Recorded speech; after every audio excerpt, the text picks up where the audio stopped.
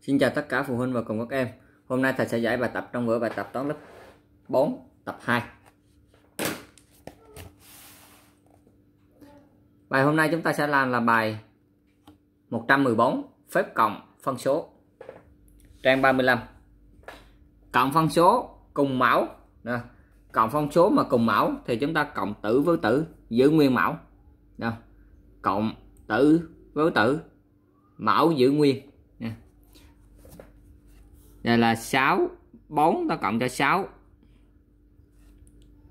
trên cái mẫu này là giữ nguyên. Nè. Bằng 10 trên 11 mẫu giữ nguyên nha, chứ không phải là cộng mẫu đâu. Cái này cũng tương tự, đã có mẫu giống nhau. Thì ta lấy 3 ta cộng cho 5 mẫu là 7 bằng 8 phần 7 bài này, cũng tương tự. 15 ta cộng cho 29 nha. Rồi. Mở là 37 và hai này cộng lại bằng bao nhiêu? 4 3 44 trên 37 câu D cái này cũng tương tự vậy, cái mẫu đã giống nhau, nè. Rồi chúng ta cộng tử với tử.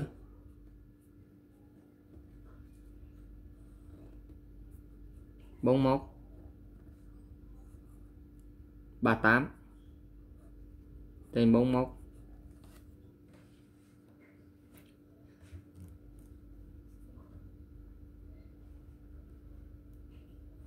Bài số 2 viết phân số thích hợp vào chỗ chấm. 2 phần 5 cộng cho 7 phần 5 thì bên này người ta đã ghi là 7 phần 5 à, như vậy chỗ này chúng ta sẽ cộng là 2 phần phần 5 cái này có cái tính chất gọi là giao khoán. Ta đổi chỗ cho nhau thì cái tổng đó cũng không thay đổi. 12 phần 17 đây là 5 phần 17 bên này là 12 phần 17 rồi như vậy chỗ này là 5 phần 17 Câu C. 3 phần 4 cộng cho 9 phần 4 Cái này người ta đã ghi sẵn cho mình 4 9 phần 4 rồi thì bên này là 3 phần 4 Cái này còn gọi là có tính chất giao hoán 5 phần 8 cộng cho 3 phần 8 bằng, bên này người ta đã ghi là 5 phần 8 rồi thì ngay trên này chúng ta là ghi 3 phần 8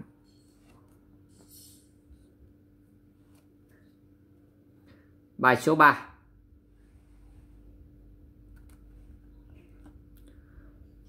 một ô tô giờ thứ nhất đi được là 4 phần 13 quãng đường. Giờ thứ hai đi được là 6 phần 13 quãng đường. Hỏi sau 2 giờ, ô tô đó đi được bao nhiêu phần quãng đường?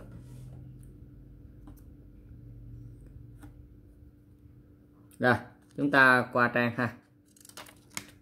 Chúng ta chỉ việc cộng hai cái à, phân số đó lại với nhau là xong. Rồi. Rồi, chúng ta ghi. Phần.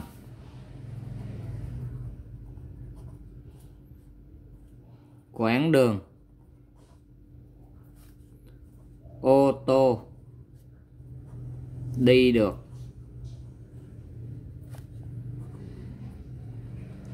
Trong 2 giờ là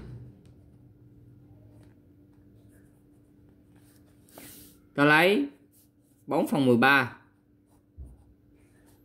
cộng cho 6 phần 13 phải không 6 phần 13 bằng. Tử cộng tử giữ nguyên mẫu. 4 cộng 6 là 10 10 phần 13 nên là phần quãng đường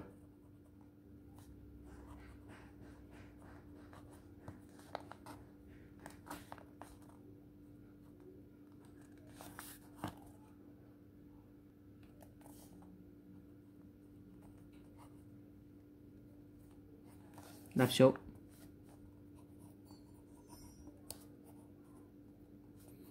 mười phần mười ba phần quãng đường